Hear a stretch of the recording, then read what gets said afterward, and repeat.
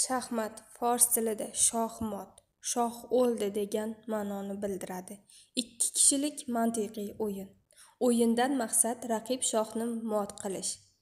64 ta katakchali taxtada 32 ta figura yordamida o'ynaladi. Har bir o'yinchida 16 ta figura bo'ladi. Bir dona shoh, bir dona farsin, ikki dona ruh, ikki dona fil, ikki dona ot va 8 dona piyoda bo'ladi. Sport fan san'at. Chinakam shaxmat o'yinida bularning bari mujassam. Uning jozibali ohangrabosi insonga ta'sir etish kuchining siri ham shunda. Inson tafakkurining yuksak mahsuli shaxmat asrlar osha bashariyatni hayrat dovonlari aro imtihonlardan o'tib ulug' kishilar tahsiniga sazovor bo'lgan.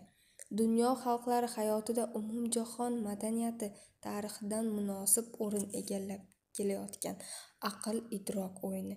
Bugungi kunda ham barchaning sevimli mashg'ulotidir.